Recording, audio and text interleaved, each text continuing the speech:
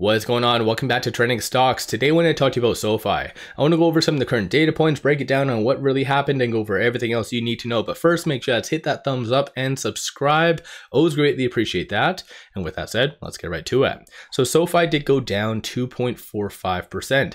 So even though a lot of people do really know that their upcoming earnings is going to be kick-ass, record number of member growth, and so much more, the technicals. Uh, the first part of this week is just going to be based on the technicals. I said that yesterday, I said that over the last weekend, and SoFi's technicals aren't the best. And so this is why in among itself, despite the Netflix and optimism from their earnings, SoFi did pull down, even though it did bounce off of a very strong support, which generally is a good thing.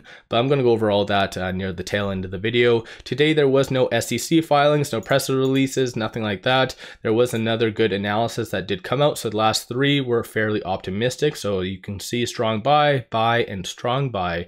Aside from that, though, you do see shorts really increasing their position. So today, shorts increased 1.57 million shares, 13. 0.98% of the free float is being shorted and 125.14 million shares overall are being shorted. And over and above that, though, looking at this, so cost to borrow average is 1.12%, a little bit higher in comparison to yesterday.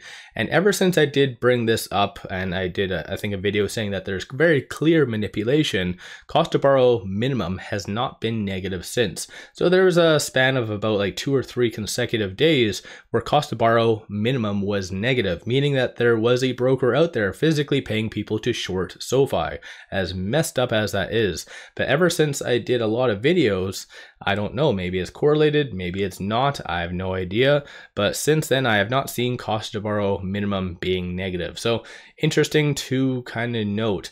Above that, though, there's just a lot of fear in the broader market. Despite Netflix earnings and a lot of optimism for that, a lot of people are kind of skeptical about GDP coming out tomorrow. Because if it is below the forecast, which is currently 2% on a quarter by quarter basis, then that will signify a sense of slowing. And that is exactly what you do not want to hear.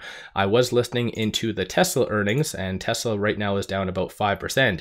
And even them, the massive giant of EVs and growth stocks, they said 2024 is going to be very much heavily reliant on interest rates being cut sooner rather than later, straight out of Elon's mouth. So, once again, there's just a lot of fear in the market right now, and PCE as well is coming out on Friday. So, Thursday and Friday are going to be very much dependent on those data points coming out to dictate if we're going to go higher or lower. When it comes to options, though, so currently, or I guess the market did close, but $6.41 million in calls being purchased versus 2.52 million in puts.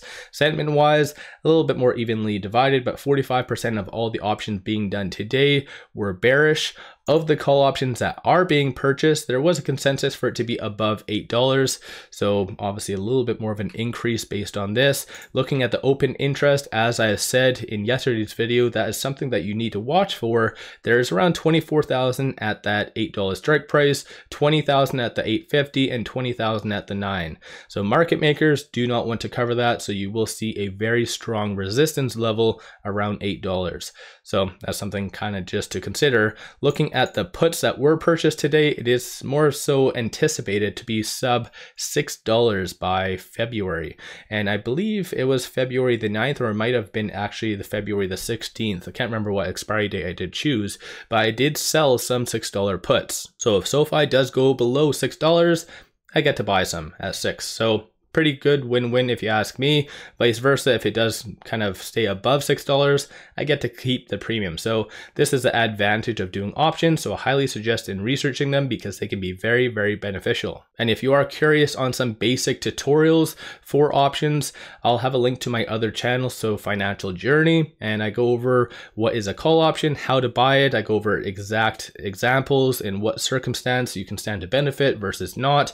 I do everything. So I have one for just basic tutorial, calls, and then puts. And then depending on if people want more, I'll do a little bit more advanced stuff, but I don't think that might be the case. But still, moving on though, these are some of the transactions that did occur on the secondary market above $100,000. So you do see a lot of big money getting into SoFi. Not all of it buys though, so based on the bid, the ask, and the selling price, anything that does show a bid is essentially a sell. So of course, this is what did aid in SoFi going down, maybe just some last minute jitters about GDP or potentially about SoFi specific their earnings, although nothing's really come out to really justify any fear about their upcoming earnings. I have been really monitoring exactly what analysts have been doing, so I'll pop over to that. And while I'm actually on Interactive Brokers, you do see this Elliott wave technicals. So it has the pivot point being $8.28. So for as long as it is below that, then it's anticipated to get to around the mid fives, as you can kind of see right there.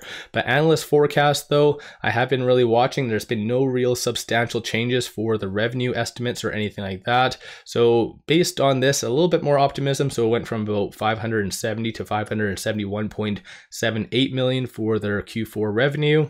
But I did want to show you this. So this is data-driven investing's Q4 earnings estimates. And so that's the same data-driven investing that did this analysis right here on January the 22nd. But their estimates are for new members around 630,000 personal loan, um, new deposits 2.92 billion. So a lot of these metrics would be all-time highs and records.